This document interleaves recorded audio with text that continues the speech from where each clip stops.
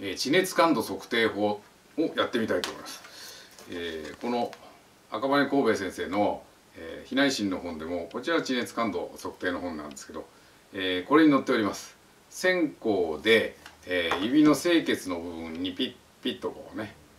えー、線香を当てて何回で熱くなるかなっていうのの左右差を測って、えー、それで左右差があるところを治療しようと。でそれはどこに治療するかっていうと背中の輸血に、えーまあ、避内心を誘う、まあ、塩皮心でも、まあ、近い効果はあるかなと思うんですけど、えー、どうにもこの線香というのがですね私の鼻を非常に、えー、いたぶってくれまして鼻水がどんどん出ることになって、はあ、ちょっとこの線香でちっちゃってやるのは苦手だなと思ってたんですけどうんいろいろ熱源を考えまして、えー、お灸の方がまだ良かったんですね。ですから患者さんには千年灸で、まあ、私が指示したところ、まあ、差がありそうなところそこに、えー、お灸をやっていかないと。これで随分と、えー、治療効果が上がりました。えー、でもやっぱり地熱感度測定法、えー、ちゃんとやってみたいなと思ってこういうのを買ってきました、えー、これはですねアイロンなんですね、えー、しかも温度調整があ調節が効くアイロンなんです、下は60度くらいから上は200度ぐらいまで、温度の設定ができます。ここ置いといてもいいようなですね。治療室にちょっと置いといて邪魔になるかはどうかは治療室の広さですけど、まあ、私のところの治療室だとまあ置けないことはない、えー、昔私があのラジコンの飛行機を作ってた頃に、えー、その羽をこう貼るアイロンなんですね、えー、でこの先端の方を使いまして指の清潔にピッとこう当てるんです。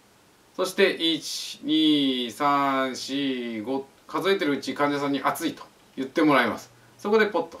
外して数を数えておくと。で、えーまあ、こんな表を作りましてですね。でこれの右左に、えー、これも赤羽先生が作ってる表なんですけど、えー、回数を書いていくということなんですがうんまあ慣れてくれば回数ああの経絡あのツボが差があったなと。右側だ左側だと覚えてるだけでいいですからメモ書きでもいけると思います。でこの裏側これ背中のこの背骨の横に膀胱系輸血がありますね。えー、それで手足の清潔に対応したところの、えーまあ、ところに鉛筆芯を貼ると、まあ、詳しくはこの2冊の本を、えー、どっかで入手して読んでみてくださいそれでは実際にやってみましょうでは実際に、えー、やってみたいと思いますまあアイロンですけど触っておちょっと熱いかなぐらいの感じですね。怖がる患者さんにはちょっと触ってみてください。ちょっとこんな感じですと、えー、それで、えー、手の清潔ですね。ここに押し当ててえーまあ、口に出してもいいんですけど、えー、心の中で1234と数えてみてください。でその差をまあ測るわけですけど。患者さんにはもう熱いと思ったらチクッとこうチカってこう痛い感じの熱さがきますからそしたら教えてもらうと。やってみましょう。はい123もう外すんですね。ちょちょっとこう押さえてやった方が親切かもしれません。で次こっちですね。1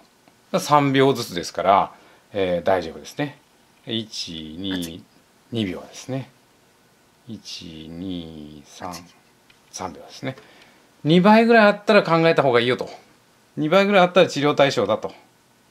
3, 3秒ですね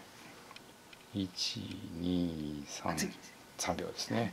こっちですね。123秒ですね。123秒ですね。で小指も。これ4秒ぐらいですね。123 4秒ぐらいですね。こう小腸球いってみましょうね。3秒ぐらいですね。でこれは123もう5秒ぐらいですね、まあ、こんな感じで、えー、全部測って、えー、まあ数分しかかかりませんのでやってみてください。